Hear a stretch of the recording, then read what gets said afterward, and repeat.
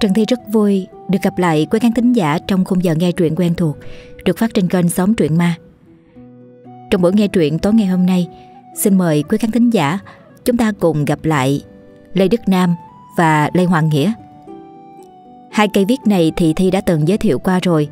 Hai bạn này là hai anh em ruột và đồng sáng tác những câu chuyện rất là hay và Thi đã có phát trong thời gian vừa qua. Quý khán thính giả nào muốn nghe lại chúng ta tìm vào một danh sách phát những câu chuyện của Lê Đức Nam nhé. Ngày hôm nay thì Thi xin gửi đến quý khán thính giả cũng một câu chuyện của hai bạn này có tựa đề là Liễu Huyền Lan. Một câu chuyện cũng khá nhẹ nhàng và rất là hay.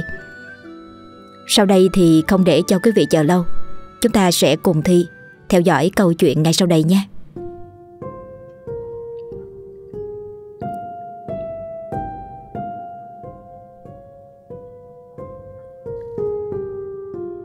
Năm nay, các đoàn người di cư từ Bắc vào Nam diễn ra khá thường xuyên.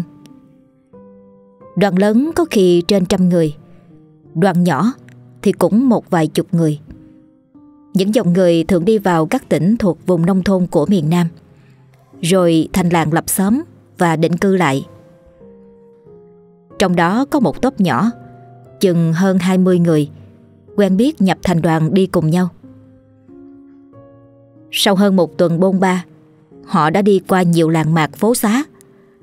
Có những lúc lại trèo đèo lội suối, Băng xuyên qua rừng. Rồi chiều hôm ấy Tốt hơn 20 người, Trong đó có Minh Phương, Tạm dừng chân ở ven suối Để nghỉ ngơi và dùng cơm chiều.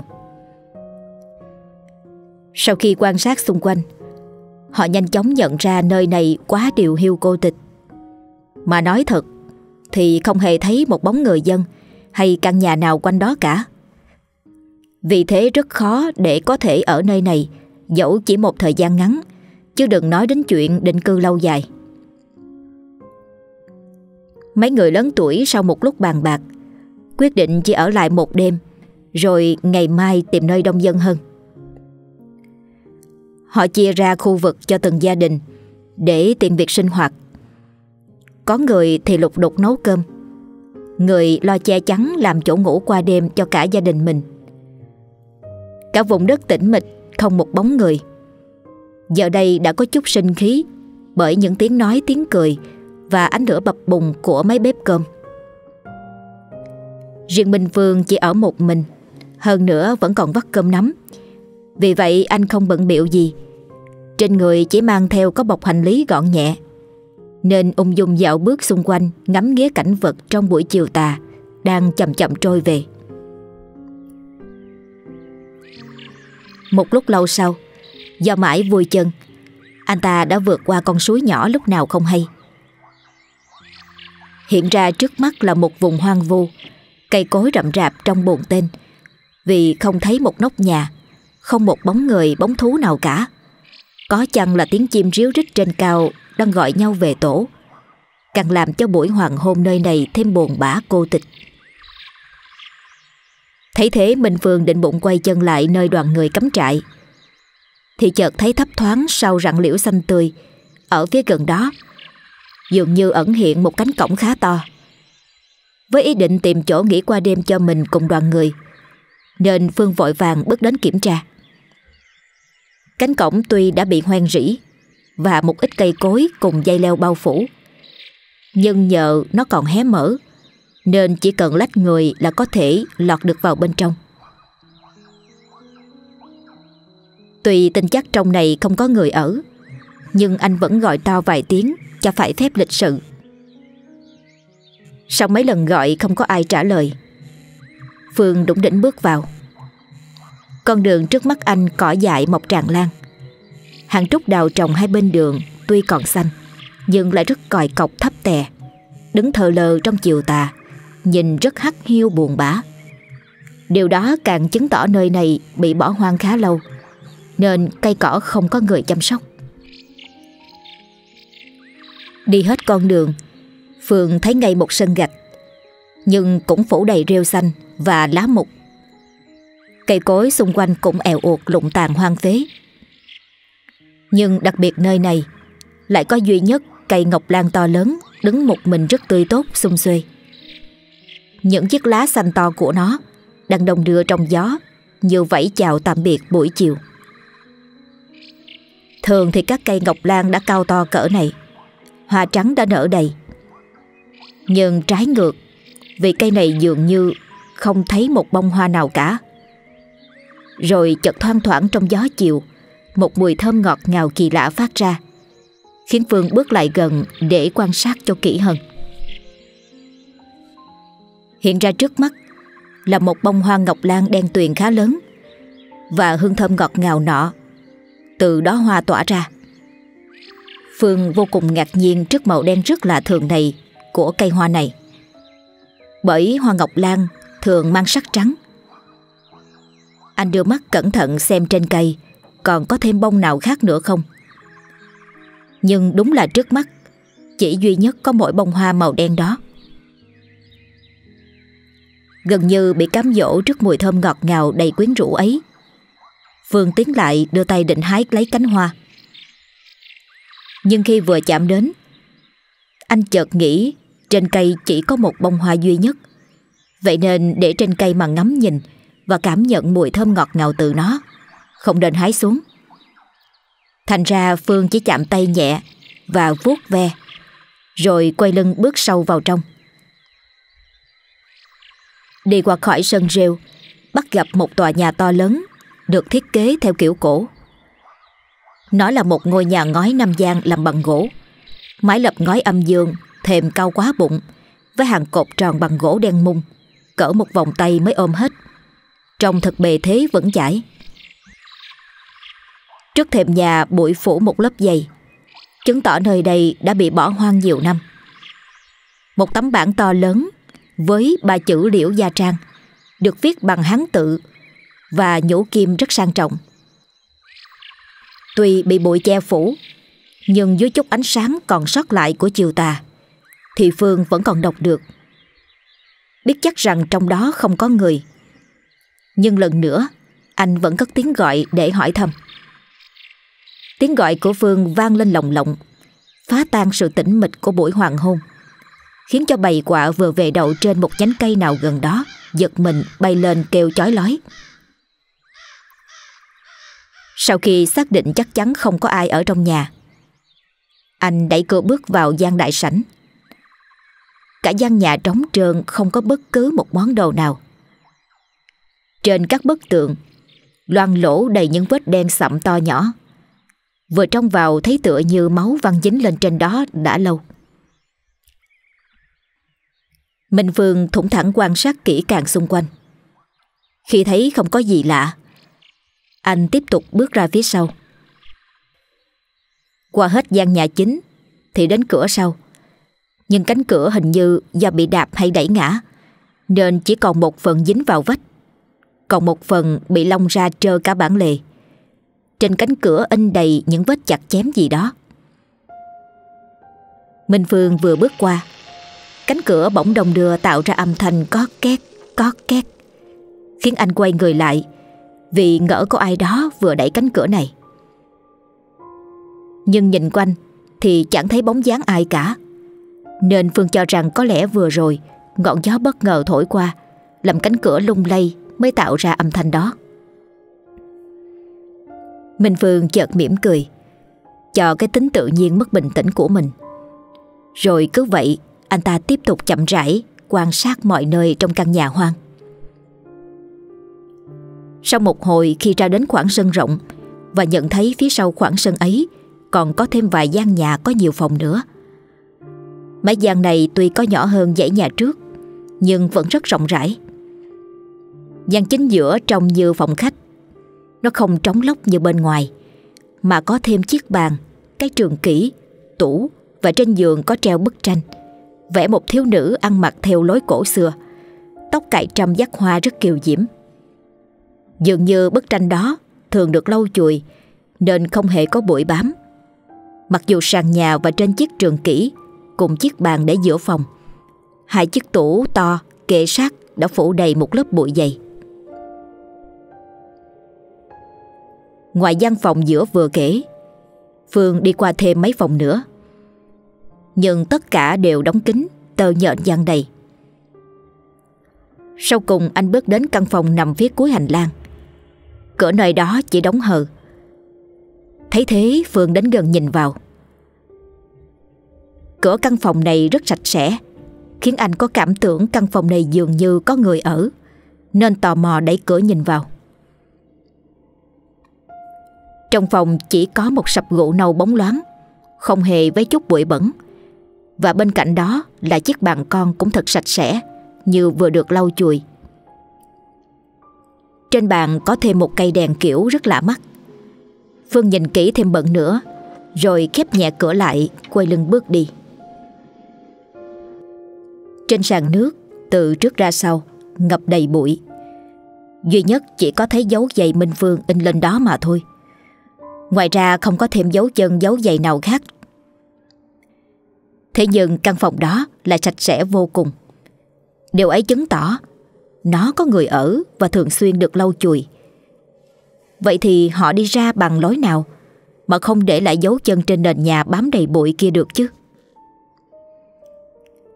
Tuy rất ngạc nhiên, Nhưng không có thời gian suy nghĩ lâu, Vì anh còn phải lau quét bụi trên trường kỹ Để ngã lưng qua đêm. Do vất vả mệt nhọc cả ngày. Phải bồn bà băng rừng lội suối, Nên vừa đặt lưng xuống, Minh Phương đã nhanh chóng đi vào giấc ngủ thật ngon. Mấy tiếng động nhẹ Khiến Phương tỉnh giấc. Nhìn ra ngoài sân trăng sáng vàng vặt Khiến trong nhà bây giờ đã tối hơn lúc nãy. Mấy gian phòng gần đó vẫn đóng cửa lặng im. Và tiếng động vừa rồi có lẽ được phát ra từ căn phòng cuối. Bởi anh thoáng thấy nơi đó có ánh đèn phát ra. Minh Phương sợ dép, Rồi bước nhanh đến nơi có ánh đèn kia. Đúng là trong đó có người. Vì ngoài ánh đèn ấm áp chiếu ra, Anh còn nghe giọng nói rù rì nho nhỏ. Phương bước sát lại cửa Và đưa tay gõ nhẹ vài cái. Trong phòng giọng nói trong trẻo của một thiếu nữ hỏi vọng ra. Xin hỏi ai thế? Nghe người trong phòng hỏi Phương nhanh nhẹn trả lời Ừ Tôi lỡ đường Đến đây từ chiều nhưng mà không có gặp ai chưa kịp dứt lời thì cánh cửa đã được mở ra. Một cô gái chừng 16-17 tuổi, mặc bộ đồ vàng, ống như tơ. Gương mặt tươi tắn với dáng người thước tha. Trên tay cô gái cầm chiếc đèn lồng nho nhỏ, tỏa nhẹ một vùng ánh sáng vàng ấm áp lung linh. Cô ta nhìn Phương chúm chím cười, nói Thưa công tử, tiểu thư em mời người khá ngạc nhiên về lối xưng hô của cô gái. Phương gật dạ đầu, rồi theo chân cô ấy bước vào trong gian phòng. Vừa vào đến nơi thì mùi trầm hương đã xông vào mũi, khiến anh rất sảng khoái, hít nhẹ một hơi dài. Trên sập gỗ nâu bóng, một cô gái cực kỳ xinh đẹp, dáng người vô cùng kiêu sa diễm lệ, trong bộ quần áo đen huyền, Nhẹ nhàng đứng lên uyển chuyển Bước lại gần Khẽ nghiêng đầu chào. Mùi thơm nhẹ nhàng từ người nàng toát ra Khiến Phương cảm thấy mùi hương ấy rất quen thuộc. Anh vừa ngây ngất vừa bồi hồi nên lúng túng gật đầu đáp lễ. Phương vô cùng ngạc nhiên. Khi hồi chiều thì gian phòng này Ngoài chiếc giường, cái bàn Và một cây đèn kiểu lạ mắt Thì anh không còn thấy thêm một vật dụng nào khác. Nhưng bây giờ màn treo sáo phủ quanh giường Còn trên bàn được trải một tấm vải thêu màu hồng Thật nhã nhặn. Chiếc đèn đang tỏa sáng vàng dịu. Một chiếc lư đồng nhỏ cũng tỏa vào không gian làn khói trầm thơm nhẹ nhàng Và đầy thanh tao, Giúp căn phòng trở nên ấm áp. Một bình trà nhỏ Cùng vài chiếc tách mỏng manh xinh xinh Làm căn phòng thêm thanh tao sinh động. Khi Phương còn đang mãi quan sát, Chợt giọng cô gái nhỏ nhẹ. Xin mời công tử an tọa. Cô hầu gái áo vàng kéo một chiếc ghế con màu hổ phách. Đưa tay mời Minh Phương ngồi. Bên kia, cô gái áo đen Cũng tự kéo chiếc ghế tương tự, Ngồi đối diện với anh. Quá đổi ngạc nhiên về lối xưng hô, Cũng như y phục của hai người con gái trước mặt. Nó tương tự như y phục của phái nữ Trong các bức tranh xưa của Trung Quốc. Gương mặt cô chủ rất thanh tú, Làn da trắng mịn không tì vết, Mắt phượng long lanh, Mài ngài công vút như vẽ. Đôi môi hồng chúm chím không khác như hoa đào chấm nở. Trong cô ấy xinh đẹp thoát tục, Cứ như người từ trong tranh bước ra. Minh Phương còn đang mông lung suy nghĩ. Cô gái chợt hỏi. Xin công tử cho biết quý danh. Và vì sao công tử ghé vào tệ xá của thiếp? Còn thiếp là họ liễu, Tên Huyền Lan. Phương cũng vội cho biết tên. Rồi vắn tắt thuật lại lý do mình lạc bước đến đây. Hai người trò chuyện thêm giây lát, Rồi Minh vương cáo biệt Sau khi xin phép được tá túc đêm nay. Liễu Huyền Lan mau chóng đồng ý. Cô còn cho biết thêm, Chàng muốn ở lại đây mấy ngày cũng được. Hơn nữa, chủ tớ nàng Đang có việc ở một nơi xa, Cách vài hôm mới ghé về đây một bữa. Nghe cô gái có nhã ý như vậy Phương nói mấy lời cảm ơn, Rồi đứng lên xin phép về lại chỗ ngủ. Huyền Lan mỉm cười gật đầu nhẹ, Như có ý tiễn khách. Nụ cười đẹp đến mê hồn. Có lẽ đây là nụ cười đẹp nhất Mà anh từng thấy Khi cha sinh mẹ đẻ đến nay. Về đến phòng, Phương leo lên cái trường kỹ khi nãy, Nằm băn khoăn nghĩ ngợi. Dường như có một điều gì đó rất bất thường Đang xảy ra ở chốn này Chủ tớ của Huyền Lan xuất hiện một cách đột ngột và rất kỳ bí Từ lối ăn mặc Cho đến cách nói chuyện của hai cô gái Giống như người từ cổ tích chui ra, Chứ không một chút gì giống như người đương đại Còn nhà này nếu là của nàng, Sao lại bỏ hoang để cây cỏ và bụi bẩn dày cả lớp như vậy chứ? Chủ tớ họ nói họ ở xa, Mà ở tận đâu? Sao đến đêm mới về? Quá nhiều câu hỏi mà Phương đặt ra trong đầu Và không tìm được lời giải. Nhưng do quá mệt mỏi vì cuộc hành trình vất vả cả ngày hôm ấy, Nên anh chàng ngủ thiếp đi Với bao câu hỏi còn ngổn ngang trong đầu.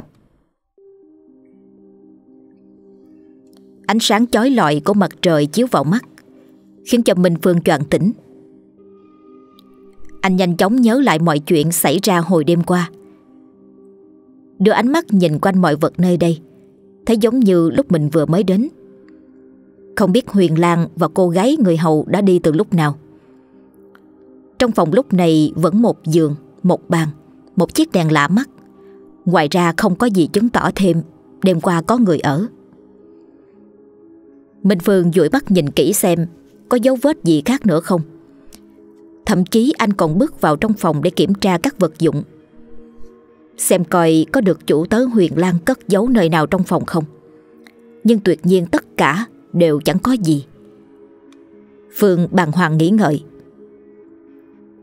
Hay là đêm qua mình nằm mơ ta? Nhưng mà thật là vô lý. Nếu như làm mơ, Thì mọi diễn biến đâu có rõ ràng tuần tự như thế. Mà không mơ thì sự thật lại càng khó tin hơn.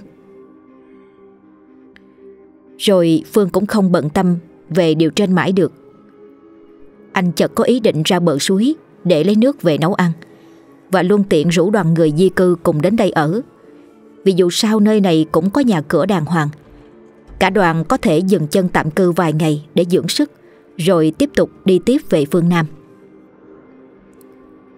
Suy nghĩ xong, anh vội vàng đi ngay. Nhưng khi đến nơi Thì mọi người đã kéo nhau đi cả rồi. Thế nên Phương cảm thấy hơi thất vọng.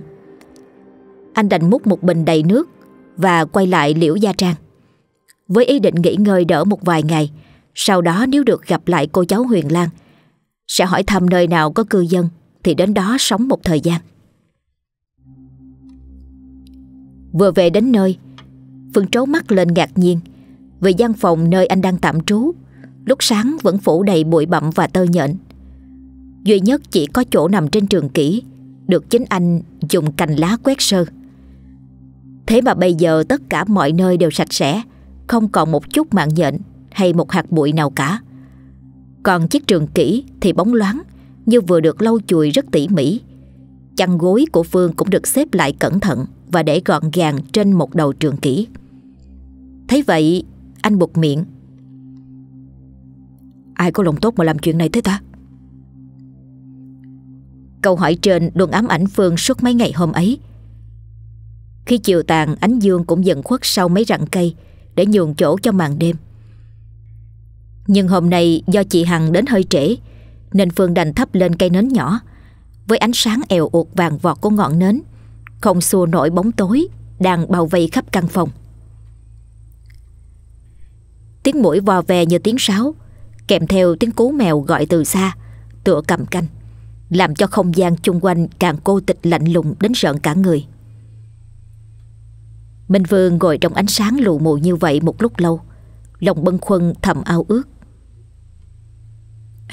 Phải chỉ bây giờ Có chủ tớ quyền lan ở đây, Thì đỡ cô đơn biết bao. Ngồi thường người nghĩ ngợi như vậy một lúc khá lâu, Chợt nhìn ra sân, Thì ánh trăng bây giờ đã lên cao, Trải một màu vàng lung linh huyền ảo từ ngoài sân chảy thẳng vào gian phòng, Nơi Minh Phương đang ở, Đem đến cho anh một cảm giác dịu dịu mát mẻ, Rất dễ chịu Còn đang tận hưởng phút giây nhẹ nhàng thư thái ấy, Chợt một tiếng động nhẹ vang lên Phương quay lại thì lập tức nhận ra Cô gái áo vàng hồi đêm qua, Trên tay cầm chiếc đèn lồng kiểu xưa, đang tiến gần lại bằng bước chân vô cùng nhẹ nhàng uyển chuyển. Không khác gì cô chủ của mình. Cô gái hậu cúi chào Phương rồi thỏ thẻ nói. Thưa công tử Em tên Hướng Dương Nhận lệnh tiểu thư đến đón công tử sang phòng Để tiểu thư em thưa chuyện à Minh Phương nhìn lên Nhận ra đó là cô hậu gái của huyện Lan. Cô bé có gương mặt bầu bỉnh hồng hào Đôi mắt sáng long lanh, vui tươi Mặc bộ đồ tơ vàng ống Trông nhẹ nhàng thước tha. Phương gật đầu đứng lên đi theo cô gái. Và chỉ vài bước chân, Họ đã đến căn phòng của Huyền Lan. Hôm nay nó cũng được bài trí không khác gì hôm qua. Nhưng trong phòng được treo thêm hai ngọn đèn lớn, Nên trông sáng sủa và rực rỡ hơn đêm qua nhiều. Sau khi mời Phương ngồi, Huyền Lan rót trà mời khách. Mùi trầm hương trong phòng cùng mùi sen của trà Hòa quyện vào nhau. Dù mới nhấp một ngụm, Phương đã thấy tinh thần mình vô cùng sảng khoái, Tỉnh táo hơn nhiều.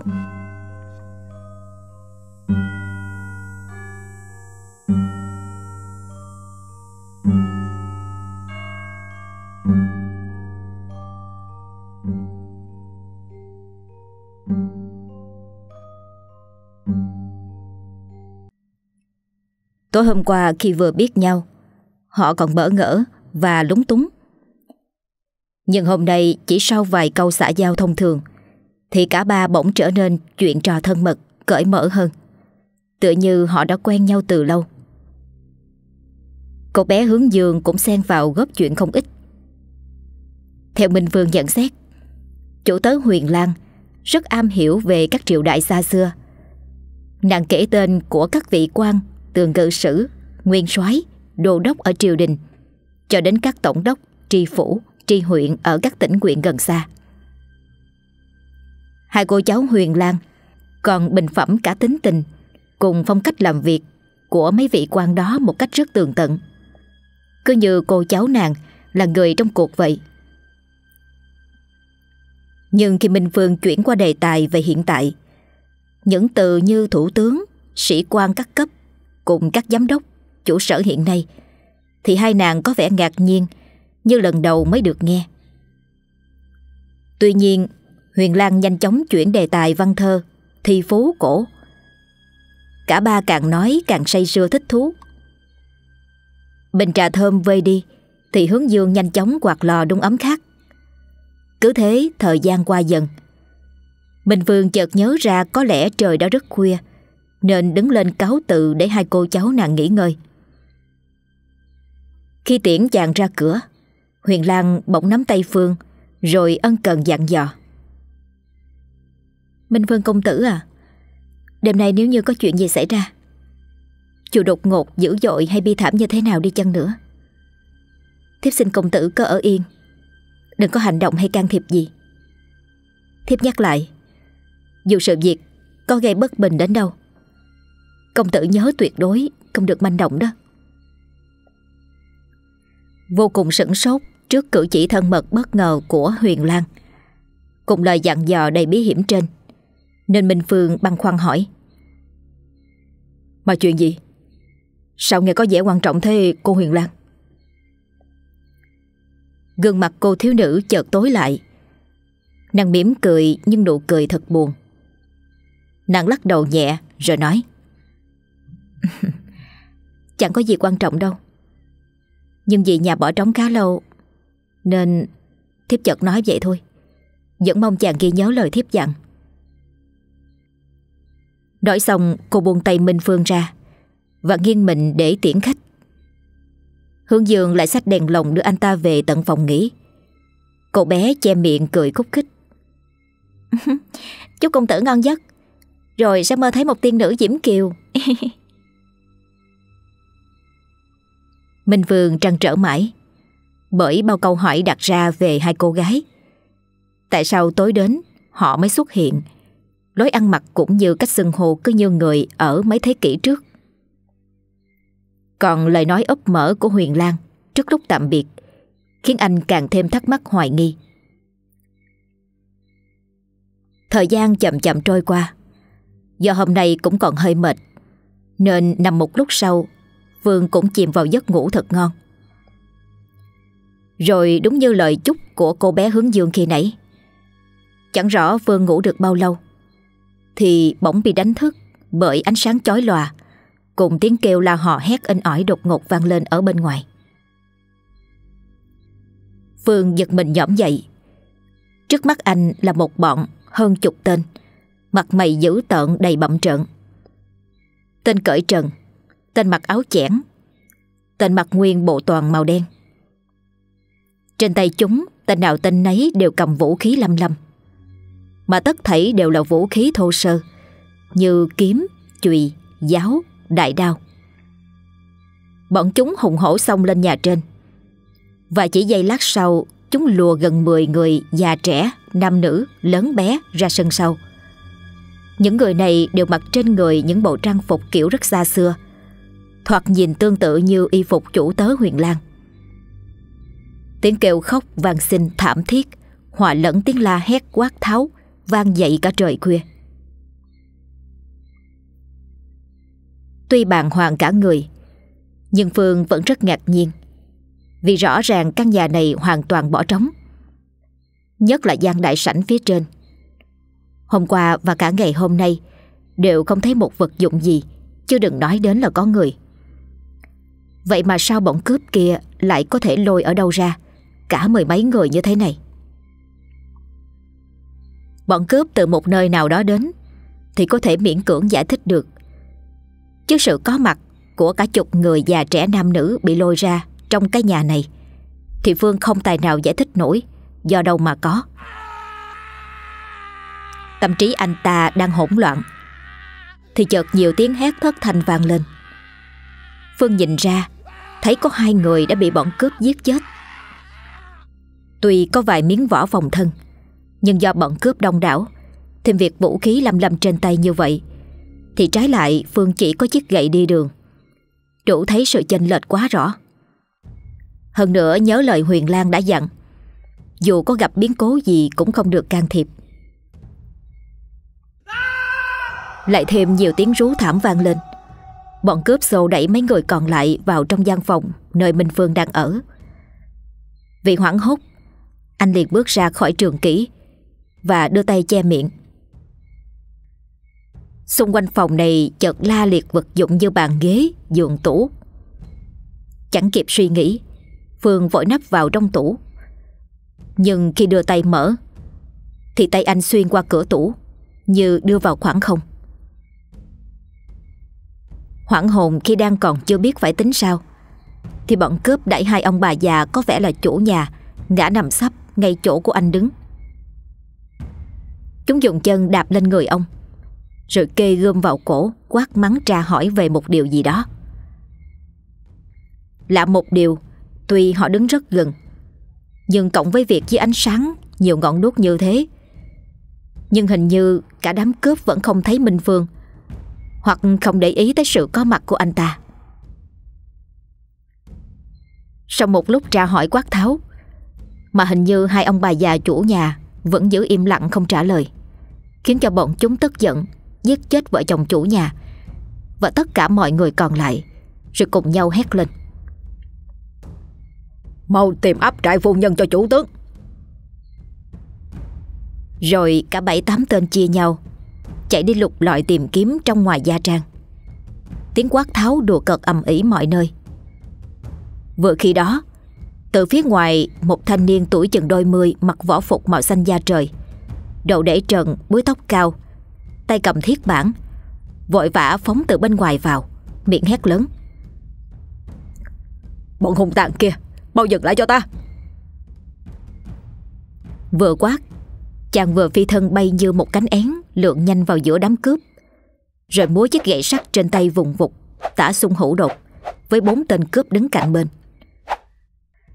Bọn này vì bất ngờ, Lúng túng chống đỡ, Nên chỉ sau vài đường thiết bản, Chàng trai trẻ tuổi áo xanh Đã đánh gã hai gã. Nhìn gương mặt chàng trai nọ Làm cho Phương cảm thấy có nhiều nét quen quen, Nhưng không nhớ là đã gặp ở đâu rồi. Chỉ trong giây phút Mà đồng bọn bị hạ, Tên cầm đầu vội rút cây trường kiếm đeo bên hông ra, Hét to Rồi ra lệnh cho cả bọn xông vào một lượt. Cùng lúc ấy, bọn thuộc hạ Vẫn tìm thấy cô cháu Huyền Lan và Hướng Dương. Chúng vừa reo hò, Vừa xô đẩy hai cô thiếu nữ đến. Trước tình hình này, Chàng trai áo xanh Bèn bỏ ngay mấy tên đang giao đấu với mình ra, Hét một tiếng lớn, Rồi bật người lao đến tên Đang nắm giữ huyền lan. Chỉ bằng một chiêu cực nhanh, Chàng quật vào đầu hắn một gậy sắt Đòn ra nhanh như một tia chớp. Làm gã nọ chưa kịp thấy, Thì đã lãnh đòn chí mạng vào đầu một tiếng cốp, Khiến cho gã bật ngửa ra, Chết liền tại chỗ. Hạ xong tên ấy, Chàng trai quay sang tên đang nắm giữ hướng dương. Gã này còn chưa kịp hiểu điều gì đang xảy ra, Thì lãnh trọn một gậy của chàng áo xanh Đang hừng hực khí thế. Gã nọ cũng nhanh chóng theo đồng bọn xuống gặp Diêm Vương. Hạ xong tên này, Chàng trai hét lớn. Huyền Lan mau chạy đi. Cô gái có lẽ nhận rõ tình hình bất lợi Nên vội kêu to. Không Thiếp không thể chạy thoát. Cứ mặc kệ thiếp đi. Bảo Lâm à Chàng hãy chạy ngay đi. Nhưng chàng trai có liều lĩnh xông vào Tả xung hữu đột với đám cướp nọ. Dù võ nghệ chàng khá cao Nhưng mảnh hổ nan địch quần hồ Nên chỉ một lát sau cũng đuối sức dần Để rồi cuối cùng Chàng bị giết dưới đoạn kiếm của hơn 10 tên cướp cùng hợp sức. Hạ xong chàng trai, chúng rất đổi vui mừng nhảy nhót reo hò ầm ĩ. Thấy chàng áo xanh đã vì mình mà chết thảm với loạn kiếm của lũ cướp hung tàn. Cô gái phẫn uất hét to nguyền rủa. Còn bọn cướp chẳng nói chẳng rằng lôi sành sạch Huyền Lan cùng hướng dương đến trước mặt tên cầm đầu. Nhìn bọn chúng thô bạo sâu đẩy, Lôi kéo Huyền Lan và Hướng Dương. Với tóc tai rã rượi Xìm y sọc sệt Minh Phương không dằn nổi sự bất bình, Tức giận. Anh quên bén lời dặn lúc nãy của Huyền Lan. Hét to một tiếng rồi xông ra. Dùng hết sức bình sinh, Quật mạnh một gậy vào đầu tên cầm đầu Đang mặc nguyên bộ đồ đỏ chói như máu. Nhưng lạ thay Cây gậy trên tay anh Cứ như đập vào khoảng không khiến phượng mất đà chuối về phía trước, ngã một cú đau ra trò. Hoảng hồn đứng dậy và diễn biến trước mắt làm cho anh ta càng kinh hãi tột độ hơn. Tất cả mọi đèn đuốc và cả đám người kia cùng các vật dụng trong nhà khi nãy giờ đây bỗng nhiên biến mất, không còn lại dấu vết gì. Trong phòng chỉ còn một mình anh, với ánh trăng lung linh huyền ảo. Minh Phương véo mình một cái Để xác định là mơ hay tỉnh. Nhưng anh ta chợt la khẽ là đau. Như vậy rõ ràng anh ta không hề mơ. Vậy thì tất cả mọi diễn biến nãy giờ Đều là thật Hoặc ảo ảnh, Hay là cái gì khác chăng? Phương không thể nào hiểu nổi. Càng nghĩ Càng thấy đầu óc mình quay cuồng rối rắm lẫn lộn. Anh ta thẫn thờ buông mình ngồi xuống bộ trường kỹ Như kẻ mất hồn. Cứ ngồi như vậy mà mông lung suy nghĩ, Và không tài nào hiểu rõ Tại sao có chuyện lạ lùng như vậy xảy ra cho mình. Càng nghĩ càng rối. Thời gian cứ dần trôi. Ánh trăng vẫn lung linh huyền ảo Rót đầy ngoài sân. Chợt một tiếng động khe khẽ vang lên. Một ánh đèn vàng hai bóng người cùng xuất hiện. Phương kêu thầm. Là cái gì nữa đây? Lần này mình mơ hay là tính Nói xong, anh vội vàng đứng lên. Khi còn nửa tin nửa ngờ, Bởi những diễn biến khi nãy, Thì bây giờ chủ tớ của Huyền Lan Đã đến bên cạnh anh. Mùi thơm ngọt dịu từ hai cô gái toát ra. Cùng giọng thỏ thẻ của Huyền Lan. Như đưa Minh Phương về thực tế. Minh Phương công tử, Xin mời uống tách trà định thần. Rồi tiếp sẽ thưa rõ ngọn nguồn câu chuyện cùng công tử. Nàng vừa nói xong, Hướng dương cũng dùng tay đưa cho Minh Phương tách trà bốc khói thơm ngọt. Miệng cô gái liến thoáng. Em mời công tử dùng trà Để định tâm trí Mà nghe người ta thưa chuyện. Minh Phương cầm tách trà uống một cách máy móc. Chàng uống thật nhanh để nghe câu chuyện Mà Huyền Lan muốn kể. Cô đưa tay mời Minh Phương ngồi xuống cái trường kỷ, rồi nàng cũng ngồi sát bên cạnh Giọng nhỏ nhẹ nhưng rõ ràng. Chắc hai hôm nay Công tử rất ngạc nhiên Với những gì xảy ra ở liễu gia trang của thiếp Có đúng không? Rồi không đợi Minh Phương lên tiếng Cậu gái tiếp tục nói Thiếp dặn công tử rồi Dù xảy ra bất cứ biến cố gì Cũng không được hành động Nhưng công tử không giữ lời rồi Ừ, tại tôi, tôi, tôi thấy chúng sâu đẩy hai cô cháu quá thô bạo đi. Cho nên tôi không sao dằn được cơn thịnh nộ. Thành thật, mong hai cô hiểu và thứ lỗi cho. Hướng dương xen lời. Đáng lẽ công tử coi được đoạn cuối của tấm thảm kịch này. Lúc đó công tử khắc hiểu, vì sao ở Liễu Gia Trang có những chuyện kỳ quái, khiến hai ngày qua công tử cứ như là bị mơ hồ. Còn bây giờ, có để biết rõ nguồn cơn hay không? Thì do ai đó quyết định chứ em không biết Nói xong Hương dương đưa mắt nhìn qua Huyền Lan Như trêu chọc Mấy hôm nay, rất muốn hiểu rõ Những điều kỳ lạ liên tiếp xảy ra với mình Ở liễu Gia Trang nên Minh Phương quay sang. Giọng năng nỉ. Ừ Mong Huyền Lan tiểu thư thứ lỗi cho sự nóng nảy Không kiềm chế được của tôi. Ừ, Xin cô cho tôi hiểu rõ Chuyện gì đã xảy ra ở đây Và tại sao? Huyền Lan khẽ cười bông đùa Nói. Hiện giờ công tử đang ngồi đây Cùng với hai cô cháu thiếp. Nói xong Nàng nhìn gương mặt khổ sở của Minh Phương. Rồi bỗng nhiên Huyền Lan chợt đổi qua một giọng u uất, Kể. Thôi được rồi. Mời công tử nghe câu chuyện về Liễu Gia Vào nhiều năm trước đây. Tiếng của Huyền Lan nghe thật buồn, Chất chứa đầy xúc cảm. Như đưa Minh Phương về một khoảng thời gian nào thật xa xôi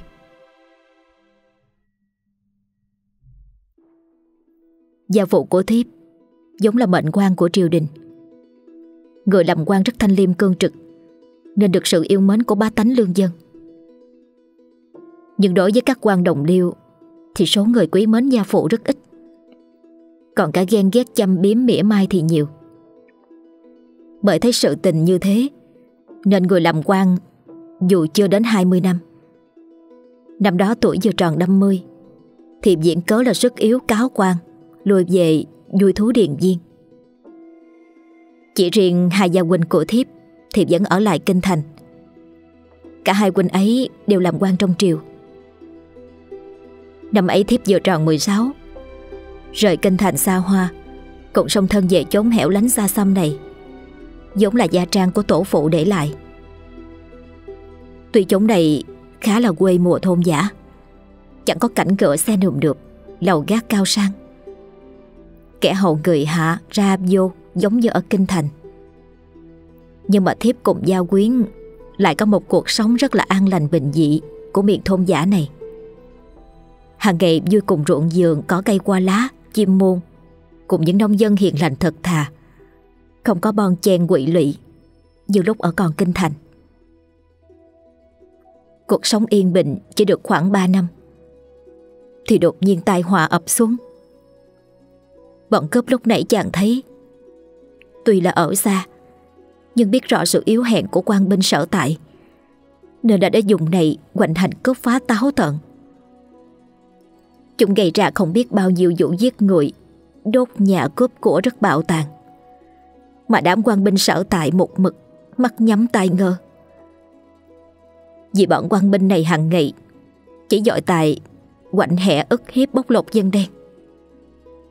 Còn đối đầu lại với các đám cướp. Thì luôn quen cái kiểu rút đầu co dai. Điều đó khiến bọn cướp càng lúc càng lộng hành.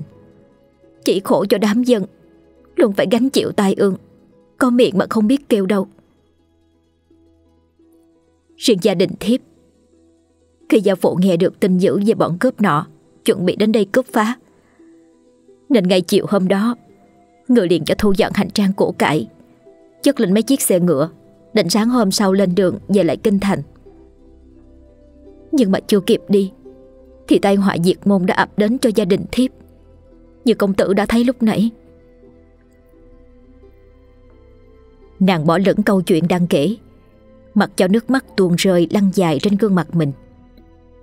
Minh Vương cũng ái ngại, Không đỡ hỏi tiếp. Nhưng hướng dương đã thay chủ tiếp tục kể. Đám cướp đó sau khi giết chết cả nhà, Bọn chúng sục sạo tìm tiểu thư. Và rồi chỉ một chút sau thì Tiểu thư với bọn em Bị bọn chúng lôi ra như công tử thấy đó. Chúng định hành Chúng định đem hai cô cháu về Sơn Động, Làm phu nhân cho cái tên cầm đầu. Em cùng tiểu thư đã lấy cái chết, Để khỏi bị làm nhục á. Minh Phương chế với kiều linh.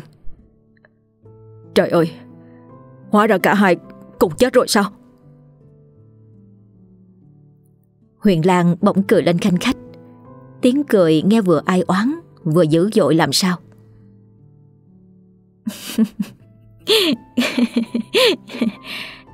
Chết. Chết thì đã sao? Chính vì chết vào giờ thiên Và quán khí của cả hai quá lớn, Nên thiếp và hướng dương Đã không mất hẳn như chúng tưởng. Còn bọn cướp. Có lẽ là phần nào thương qua Tiết Ngọc Nên chúng đào một cái hố nhỏ trước sân Rồi dụi xác cả hai xuống. Còn tất cả hơn 10 thi thể của gia đình thiếp Cùng thân xác của chàng thanh y công tử kia. Chúng chất chung lại rồi nổi lửa thiêu sạch sẽ. Vì thấy sự hèn yếu của quan binh sở tại, bọn chúng đã ngang nhiên chiếm liễu gia trang ở lại vài ngày, để rượu chè ăn mừng thắng lợi, mà chẳng e ngại điều gì. Những xui xẻo thay cho bọn chúng. Vì thân xác cô cháu thiếp may mắn hấp thụ được linh khí của cây ngọc lan hơn trăm tuổi, Cùng với nỗi căm thù oán hận. Nên thiếp cùng hướng dương vẫn tồn tại. Chỉ đến đêm thứ ba, Hai cô cháu Đã đủ sức giết sạch cả bọn cướp hơn 10 tên. Không một kẻ nào chạy thoát. Minh Phương ngạc nhiên hỏi, Bằng sức hai người con gái, Lại tay không thì làm sao Hai cô cháu giết được bọn chúng? Hướng Dương trả lời thay chủ, Em và tiểu thư lúc đó Đâu có còn là nhi nữ yếu ớt thường tình nữa đâu. Bởi ngay cái đêm thứ ba, Hai cô cháu em đã có thể hiện lên Để trả thù bọn chúng rồi. Chỉ vừa nhìn thấy hai cô cháu Tóc xỏ rối bù. Mình mảy nhộm đẫm máu lẫn thẫn đi đến. Thì hai tên đứng gác ở cửa, Trợn mắt lên, ú ớ, Không nói nên lời luôn. Nhưng do hai tên đó quá sợ hãi, Không có còn đủ sức dở chân lên chạy. Cho nên đành đứng yên một chỗ run rẩy, Mở mắt to nhìn hai cô cháu em bước lại, Dặn cổ, Tiễn bọn chúng về gặp Diêm Chúa đó. Đến đây có lẽ vì quá xúc động Hướng Dương im lặng, không nói thêm lời nào. Thấy vậy, Huyền Lan tiếp lời. Bọn còn lại đang chè chén ở trong nhà. Nghe tiếng la hốt hoảng của đồng bọn bên ngoài, Thì đồng loạt rút vũ khí, hùng hổ xông ra. Nhưng vừa nhìn thấy hình dạng của em và hướng dương, Thì trong bọn chúng Diệu tên lết đi không nổi. Đành nhắm mắt chờ chết. Tên nào gan dạ thì chụp vũ khí tấn công. Có điều mặc cho kiếm chém dao đâm. Chùy đập. Nhưng mà em và hướng dân vẫn không hề hứng gì. Nên mới khiến cả bọn cướp lại bẫy run sợ. Bước thục lùi, Mong chạy thoát. Nhưng bọn chúng làm sao mà thoát được? Hai cô cháu em đã dặn cổ từng tên. Cho đến khi chỉ còn tên chánh đảng, Mặc quần áo đỏ. Vậy chúng không bỏ chạy sao? Chạy làm sao nổi mà chạy? Hai cô cháu thiếp làm toàn bộ bọn chúng sợ đến nhũng người. Chân tay mềm như bột rồi. Thì còn sức đâu mà chạy trốn? Thiếp cố ý chừa lại tên đầu đạn áo đỏ đó. Bởi chính tên này đã giết chết song thân cùng chàng thanh y công tử. Do đó, Thiếp muốn để hắn bấn loạn trong tiệc vọng. Cho nỗi sợ hãi kinh hoàng cao đến tột độ. Vì hắn dù có chạy đến đâu, Thì vẫn thấy thiếp với thân hình nhộm đầy máu hiện ra, Đứng quắt mắt trước mặt. Sau cùng hắn sụp đổ hoàn toàn, Quỳ gối xuống trước mặt hai cô cháu gian sinh. Lúc ấy thiếp mới ra tay tiễn hắn về âm phủ. Hội ngộ cùng đồng bọn.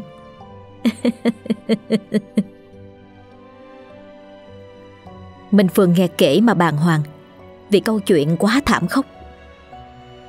Một lúc lâu sau bình tâm trở lại. Anh hỏi tiếp. Sau đó và bây giờ ra sao? Huyện Lan cười. Giọng cười nhẹ nhàng nhưng pha chút khôi hài. Lại bây giờ ra sao? Ừ, Thì bây giờ ba chúng ta đang ngồi nói chuyện nè. Chứ còn ra sao nữa? Hỏi hoài. Nói xong bỗng giọng nàng trầm xuống. Âm u như từ cõi xa vọng về.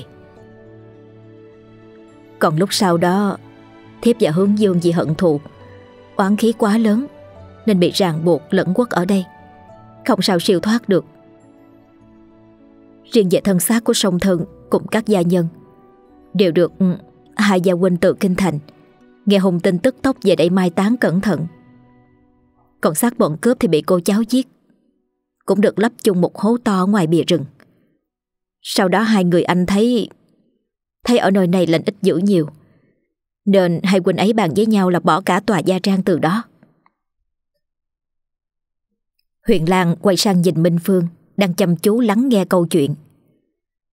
Cô tiếp tục kể. Oan hồn của người thân trong gia trang, Do chết thảm, Nên lòng đầy oán hận. Vì thế những đêm trăng sáng Thường hiện về kêu khóc than vang lòng lộng cả trời. Khiến những nhà sống gần Đều khiếp sợ, Dần dần bỏ đi hết, Làm cả một vùng trở thành hoang vắng không người. Không bao lâu sau, Tiếng đồn Liễu Gia Trang bị đánh cướp Và bọn cướp đã giết sạch tất cả hơn 10 người Và trẻ lớn bé của Liễu Gia. Và sau cùng có lẽ do chúng chia của không đều, Nên bọn cướp cũng sinh ra giành giật, Rồi tự giết nhau đến chết hết. Vì thế Gia Trang bị bỏ hoang và chẳng ai đủ can đảm đến gần. Chứ nói chị bước vào dòng ngó. Thời gian cứ thế trôi qua, Đến hơn một năm. Sau ngày thảm khốc, Thì câu chuyện đồn đại về những oan hồn Vào các đêm trăng thường hiện về than khóc, gào thét, Cũng nhạt dần trong tâm trí bá tánh trong vùng. Nhưng riêng tiếng đồn về một gia trang giàu có, Bị một bọn cướp viếng để cướp phá, Rồi vì chia chác không đều mà bọn chúng tàn sát lẫn nhau. Đến cuối cùng chẳng còn tên nào sống sót để hưởng. Thì lại râm rỉ đến tay đám quan quân sở tại. Rồi vào một ngày nọ, Câu chuyện ấy dần dà đồn đến tai tên huyện lệnh trong vùng. Mẫu tham nổi lên, Nghĩ đây là dịp để chiếm của một cách hợp pháp.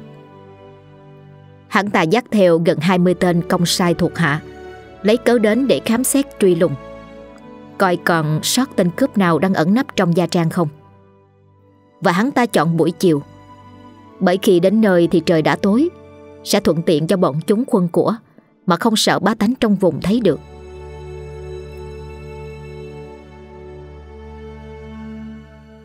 Tại liễu Gia Trang, Với bóng đèn to lớn của cây ngọc lan không ngớt rung mình, Tạo ra những chuỗi âm thanh xào xạc rù rì, Như lời của nhiều người nhỏ to nói chuyện.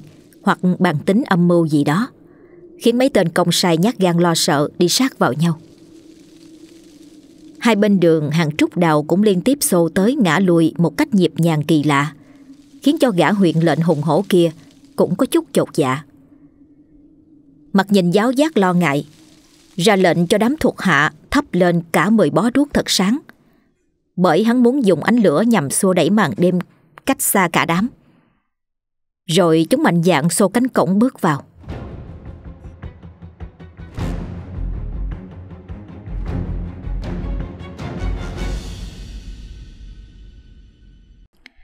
Lúc ấy, Huyền Lan cùng tất cả các âm hồn ở đây đều đã biết giả tâm của hắn nên họ lần lượt làm bọn quạ gồm mấy chục con Đang đậu trên ngọn cây dầu cao gần đó giật mình Mà bay loạn xạ, Buông ra những tiếng quạ quạ in ỏi Thêm vào đó còn có tiếng hai con chó cùng tru vang lên ở phía sau vườn, Khiến nhiều tên nhát gan trong bọn họ Giật mình sợ hãi.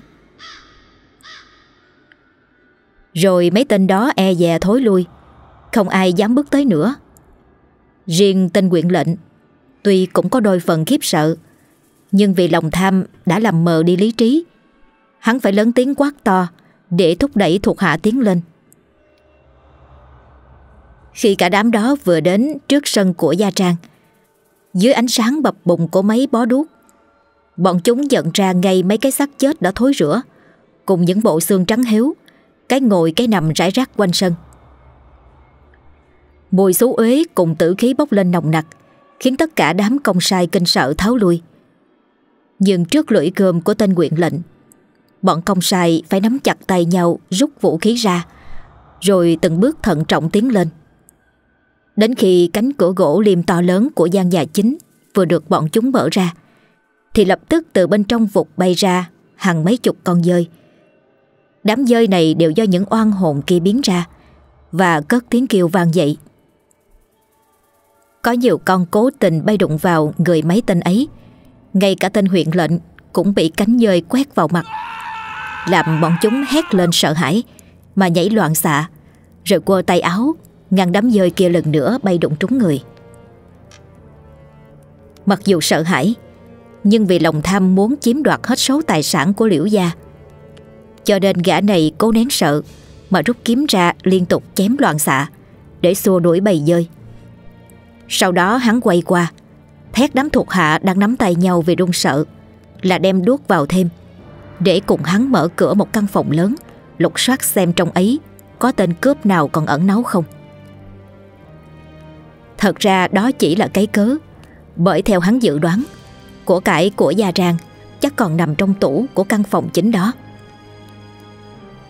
Xong dù hắn quát tháo thêm đôi bận nữa Thì bọn thuộc hạ vẫn không tên nào tuân lệnh Điều này khiến gã quyện lệnh phải đích thân đến giật ngay bó đuốc trên tay một thuộc hạ. Rồi hùng hổ đạp mạnh cánh cửa. Sau cú đạp mạnh ấy, cánh cửa bật mở. Hai cô cháu Huyền Lan trong bộ đồ trắng toát nhóm đầy máu tươi, tóc tai bù xù, mặt mày xanh mướt đầm đìa máu, từ trên rơi nhẹ xuống trước mặt tên quyện lệnh.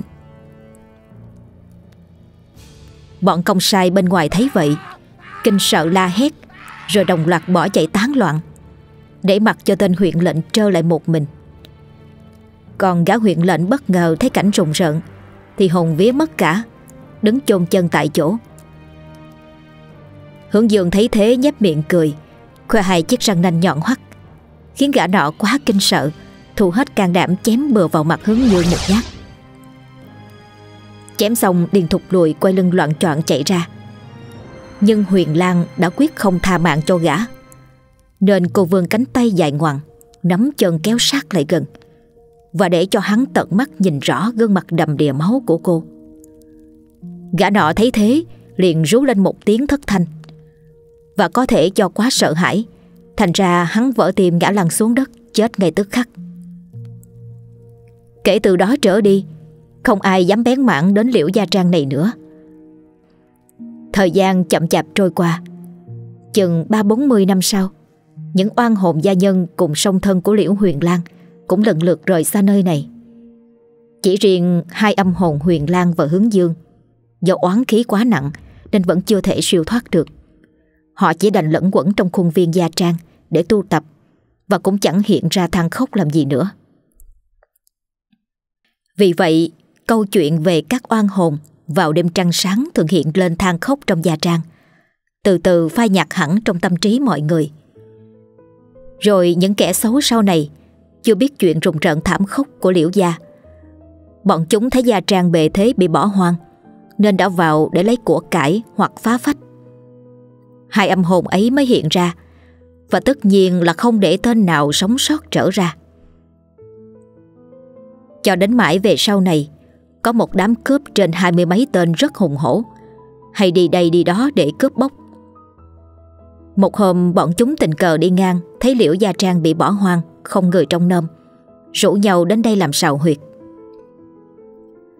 Liễu Huyền Lan cùng hướng dương tuy rất giận Vì có kẻ gian ngang nhiên đến chỗ của mình, Chiếm cứ làm chuyện tàn bạo. Tuy cả hai âm hồn rất căm ghét Và vô cùng tức giận, Họ muốn tiêu diệt ngay bọn cướp này. Nhưng ngoài trời ánh dương quang còn rực rỡ, Nên họ đành ẩn thân, kiên nhẫn chờ đợi đêm về. Cả hai cô cháu bàn tính, Tối nay sẽ làm gì Để thẳng tay trừng trị bọn chúng? Rồi màn đêm cũng phủ xuống. Các vị tinh tú rải rác Bắt đầu nhấp nháy trên bầu trời Hai âm hồn ra khỏi cây ngọc lan bắt đầu cho kế hoạch trừ khử bọn cướp đáng ghét kia. Đầu tiên hướng dương khiến cho bầy quả đen đang nhung nhúc đứng trên hai cây dầu cao lớn hoảng sợ bay náo loạn, kêu la ầm ĩ, nhằm làm hỗn loạn phần nào tinh thần bọn cướp trong nhà. Quả thật vậy, sau tiếng kêu đột ngột của bầy quả kia, khiến mấy tên vội chạy ra lo sợ nhìn xung quanh, xem có người đến không, mà khiến bầy quạ đang ngủ trên cao lại kêu in ỏi. Nhưng dù cẩn thận nhìn mọi nơi Mấy tên đó tuyệt nhiên chẳng thấy có gì bất thường Đành quay vào trong. Nhưng chúng vừa vào trong Thì một lần nữa Bọn quạ lại nháo nhác bay lên cất tiếng kêu vang dội trong bầu trời đêm. Cùng khi ấy tiếng cười nho nhỏ lanh lảnh từ ngoài cổng đột ngột cất lên. Hòa theo tiếng quạ quạ đầy khó chịu kia. Các âm thanh đáng sợ đấy chưa dứt. Thì từ phía xa, một tiếng chó tru cất lên một hơi dài nhọn hoắt, Giống như tiếng khóc trong trời đêm. Nghe thật ma quái rùng rợn. Đợt âm thanh hỗn loạn này khiến bọn cướp nhốn nháo. Nhiều tên thấp thỏm lo sợ, cho là điềm gỡ Có tên lại cho rằng Có nhiều người hay ma quỷ đang đến nên bọn quả thấy vậy, Hốt hoảng bay lên kêu la như thế. Chỉ riêng có tên thủ lĩnh lại cho rằng, Chắc là trên cành cây, Có con máng xà nào tấn công. Nên lũ quạ nó mới quảng loạn lên. Còn tiếng chó trù trong đêm hoàng gián là chuyện bình thường, Chẳng có cái gì đáng ngại. Riêng tiếng cười lúc nãy, Có lẽ là tiếng gió thổi ngang một cái gì đó. Nhưng mà do chúng bay hốt quảng Mới cho là tiếng cười thôi. Chỉ có thế Chứ chẳng phải điềm gỡ hay là có người có ma gì đến đâu Nghe đại ca giải thích như thế hầu hết bọn đàn em tạm yên lòng. Nhưng cũng còn vài gã trong lòng hoài nghi lo sợ ra mặt. Chúng bấm tay nhau nói nhỏ. Nói gì thì nói chứ, tao thấy nơi này dường như là chứa đầy tử khí đó. Cùng với cái gì đó nó rất là âm u gần gần. Gã kia nghe nói vậy cũng tỏ ra đồng ý với nhận xét của đồng bọn. Nó thì thào nói thêm. Từ lúc trời mới tờ mờ tối Tao luôn có cảm tưởng như Có vài đôi mắt bí mật theo dõi mình đó Hai gã ấy lắm là lắm lét nhìn quanh, Nhỏ to trò chuyện Nên làm sao thấy Hai âm hồn huyền lang cùng hướng dương Đang mỉm cười với nhau cho được Ngoài trời bóng tối càng lúc càng dày đặc nên bọn trong nhà thắp lên thêm bốn ngọn đuốc, Cắm quanh tường. Nhìn ánh lửa của mấy ngọn đuốc bập bùng trong gian đại sảnh, càng làm tăng thêm vẻ thê lương rùng rợn. Mấy tên nhát gan chợt thấy hai bên bức tường, Xuất hiện nhiều hình ảnh quái gở Đang nhe nanh múa vuốt, Trợn mắt hiện ra Như để đe dọa bọn chúng. Tuy mấy gã này rất sợ hãi, Nhưng không dám buộc miệng kêu la. Mà chỉ dám cấu véo nhau khe khẽ, Rồi dùng mắt chỉ cho đồng bọn, Xem mấy hình ảnh ma quái trên tường. Cả đám đang sợ hãi Vì mấy hình ảnh kia. Bỗng một tiếng cười lạnh lẽo vang ra từ một hình trên tường, Khiến cho ba tên đứng đó vội vàng quay người vọt ra bên ngoài.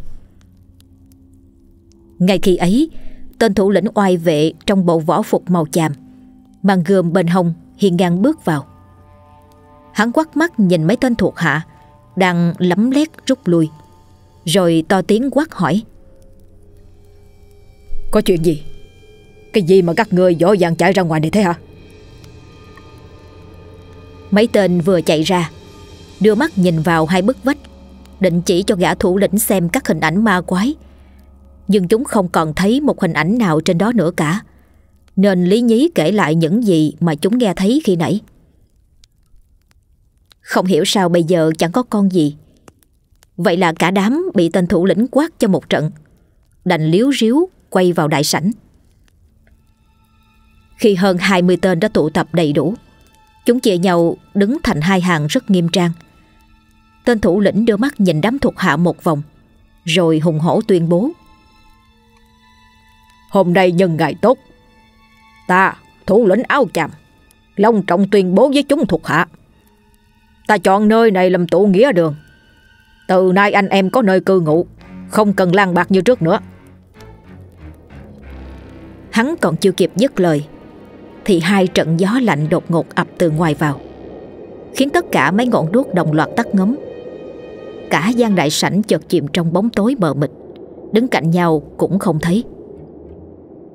Đã thế trong bóng tối dày đặc kia, vang lên tiếng cười the thé đầy đe dọa. Khiến tên thủ lĩnh bạo gan nhất Cũng phải á lên một tiếng.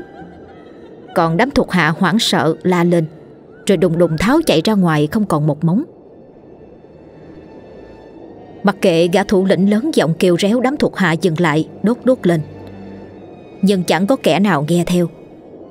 Sau cùng hắn đành lần mò từng bước đi ra ngoài. Thế nhưng khi mới vừa đi được chừng vài bước, Thì một bóng trắng lướt nhanh qua. Kèm một cái tác tay lạnh ngắt Và thật mạnh, dán thẳng vào mặt của bọn chúng, Khiến tên tướng cướp nổ đom đóm mắt, Thét lên một tiếng đau đớn trong sự hoảng sợ, Rồi vội vã chạy theo chân đồng bọn. Nhưng do quá gấp rút, Nên vướng chân vào một cái vật chắn ngang đường Và ngã nhào tới trước. Cuối cùng tên này sau một lúc hoảng loạn, Tay chân cuốn quýt Cũng thoát được ra bên ngoài, Rồi hỗn hển ra lệnh cho thuộc hạ tập hợp lại. Bọn này do nãy giờ hoảng sợ, chạy tán loạn. Nay nghe lệnh tập hợp, Nên mau chóng quay lại. Chỉ vài phút sau, Cả chục ngọn đuốc được thắp lên sáng rực cả sân. Bọn chúng còn đang chỉnh đốn hàng ngũ Để nghe gã thủ lĩnh tiếp tục ban lệnh. Ngay lúc đó, từ trên cây ngọc lan, Một bóng người với trang phục đen tuyền Là là bay xuống. Mới nhìn có giống như một trang hắc y hiệp nữ. Có điều gương mặt người này thì quá rùng rợn Với đôi mắt sáng xanh như ngọc bích To như hai quả trứng Lội hẳn ra ngoài mang đầy sát khí. Gương mặt lạnh lẽo như đóng một lớp băng tuyết dày. Hai bên khóe miệng có hai chiếc răng nành thò ra nhọn hoắt, còn chìa thêm 10 ngón tay dài sọc đỏ tươi như dính đầy máu, từng bước tiến đến. Tận mắt chứng kiến cảnh tượng ấy, khiến cả chục tên cướp khiếp phía quay người lại định chạy vào nhà. Nhưng từ trong đấy, một con quỷ áo trắng tóc xõa bù xù rối đanh. Mình mẩy thấm toàn máu Cũng đang dường hai cánh tay dài quá khổ. Cùng đôi bàn tay khẳng khiu Với 10 móng nhọn hoắt xanh mướt Lừ đừ chậm chạp bước ra ngoài. Thấy vậy gã thủ lĩnh rút mã tấu ra thét lên. Nào tất cả thuộc hạ Rút vũ khí ra. Giết chết hai kẻ giả ma giáo quỷ này cho tao. Vừa thét, Hắn vừa quơ mã tấu, Chém ngay một con quỷ y phục đen trước mặt. Nhưng con quỷ ấy không hề tránh né. Nó cứ để mặt cho lưỡi mã tấu sáng loáng kia chém vào mặt mình. Cứ tưởng như sẽ chẻ đôi được gương mặt đáng sợ kia. Nhưng cái lưỡi nhọn hoắt ấy Cũng chỉ có thể đứt qua mặt Như đứt qua không khí mà thôi.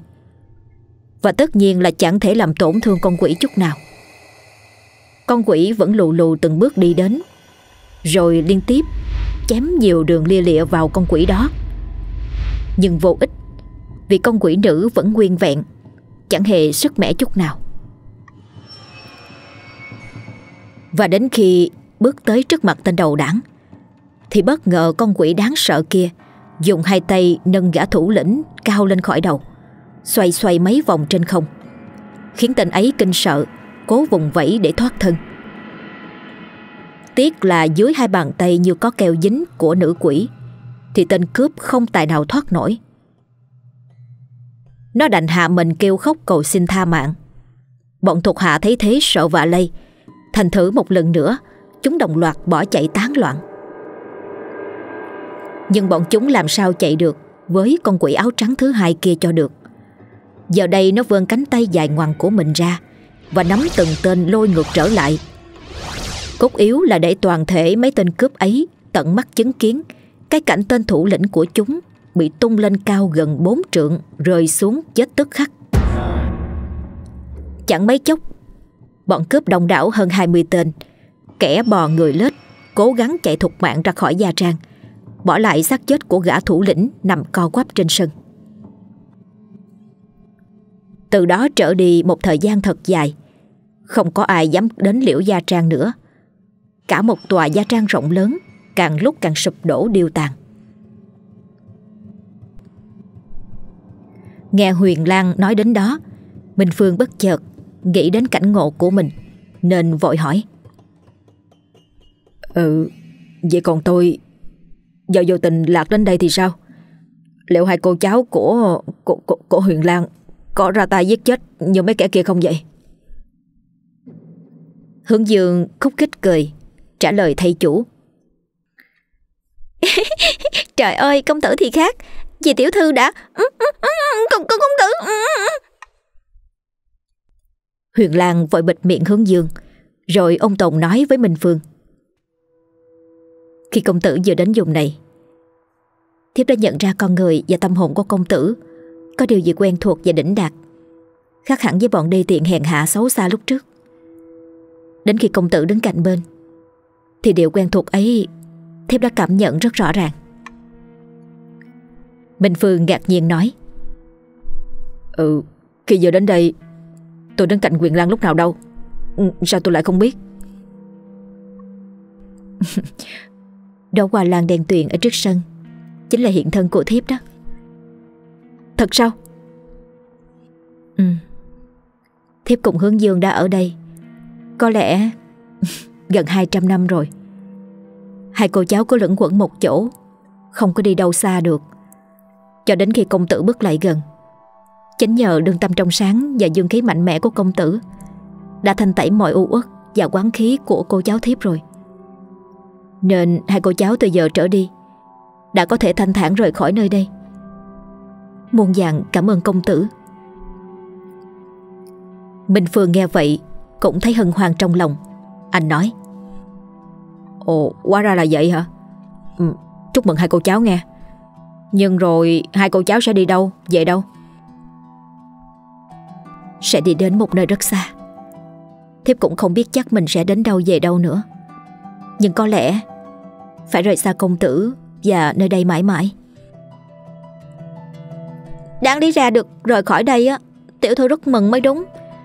Nhưng mà hiện giờ tiểu thư của em Hơi buồn rồi đó. Công tử biết tại sao không? Minh Phương ngơ ngác lắc đầu. Giọng cô gái liến thoáng Mang đầy vẻ tự hào. À, Về tiền thân của công tử chính là uh, Là gì của của ai đó? Huyền Lan véo tay mạnh vào lưng cô hậu gái của mình rồi quay qua nói với Minh Phương Công tử Công tử chớ có nghe lời nói rằng Của cái đứa lẻo mép này. Thôi, Dừng gặp gỡ của chúng ta đến đây là hết. Trời sắp sáng rồi, Cô cháu của thiếp đi đây. À Thiếp còn quên một chuyện. Có chuyện gì vậy? Khi ra khỏi liễu gia trang, Xin Minh Phương công tử cứ theo hướng Tây Nam mà thẳng bước đi. Chừng ba dặm sẽ gặp một thôn xóm. Công tử yên tâm, cư trú ở đó nghe. Rồi đột nhiên, Huyền Lan đổi giọng u uất. Bây giờ thời gian đã đến rồi. Xin vĩnh biệt công tử. Cầu chúc công tử thượng lô bình an Và muôn dạng may mắn. Giọng của hướng dương trong trẻo vội vàng vang lên. Minh Vân công tử, Còn nhớ anh chàng thanh niên mặc võ phục xanh không? Muốn gậy sắt đánh nhau với bọn cướp để cứu đó. Ờ Người ấy chính là tiền thân của của công. À, à. Hướng dương vừa nói đến đây Huyền Lan đã vội vàng đưa tay bịt miệng cô hầu mình lại. Rồi hai chủ tớ đồng loạt thốt lên. Vĩnh biệt Minh Phương công tử. Vĩnh biệt chàng. Nói xong cả hai cô gái Như hai lặng khói nhạt Tan từ từ vào sương sớm sự việc xảy ra quá đột ngột. Minh Vương còn chưa kịp nói lời giả từ cùng hai cô gái. Có điều lời nói sau cùng của hướng dương Khiến anh ngỡ ngàng nhớ lại. Nhận ra do đâu Mà mình thấy gương mặt của anh chàng thiếu niên mặc võ phục xanh, Dùng gậy sắt chống lại bọn cướp lúc nãy, Nhìn khá quen thuộc. Minh Vương lẩm bẩm thốt lên. Thảo nào mà mình thấy gương mặt chàng trai rất là quen, Thì ra chính mình trong tiền kiếp Thốt xong mấy lời ấy Minh Phương thẫn thờ buông mình ngồi xuống chiếc trường kỹ, Định thần dây lát. Với anh mọi việc diễn ra quá dữ dội và nhanh chóng Khiến cho anh thấy mình hụt hẫng Như vừa đánh mất một cái gì đó rất quý giá. Thời gian nhẹ nhàng trôi qua Trong êm đềm của buổi ban mai sắp đến Ngoài kia mặt trời vừa nhô lên khỏi chân mây Tiếng chim ríu rít gọi nhau bay đi tìm mồi vang lên rộn rã.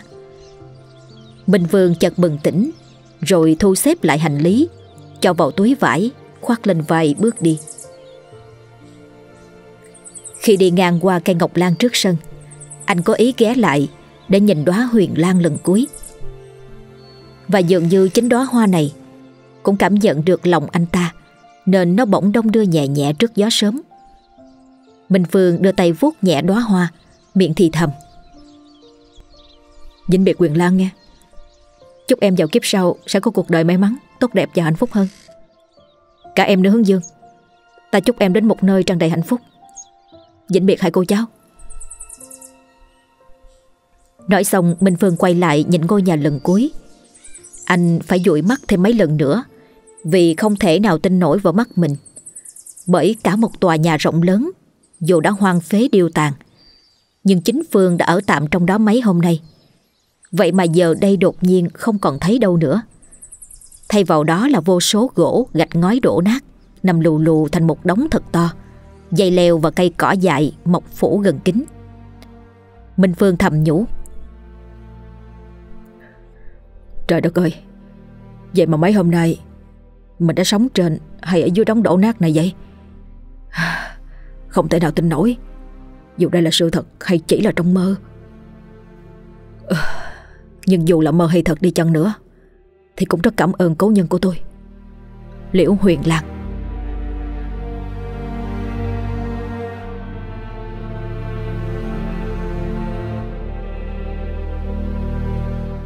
Quý khán thính giả vừa nghe xong tập truyện ngắn Liễu Huyền Lan của tác giả Lê Đức Nam và Lê Hoàng Nghĩa. Cảm ơn quý khán thính giả đã theo dõi câu chuyện ngày hôm nay. Đến đây Trần Thi xin nói lời chào tạm biệt. Chúc quý khán thính giả một đêm an lành và ngon giấc. Hẹn gặp lại ở những câu chuyện tiếp theo nha.